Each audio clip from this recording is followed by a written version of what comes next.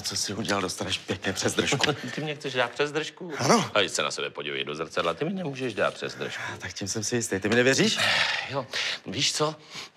Dřív mě spíš udusíš. Ty bys měl dělat něco se svou hygienou, člověče, smrdíš jak prase. Tak prosím, frajere. Pak tohle jsi neměl dělat, ty nulo! Co jsi šlo? Zkus. Ty hajsli. Zakálcovaný, ale kurkáč, nebo naposled, já si to nenechám líbit. Kolikrát si myslíš, že mi můžeš takhle... Přestaňte zbláznit Jděte od sebe, se! jděte od sebe! Huzo, jděte od sebe! Co si to dovoluješ? Ne! Ať se uklidníte! Nechte toho, nebo vás vyhodím. Dobrý, já končím. Puste je, Romane.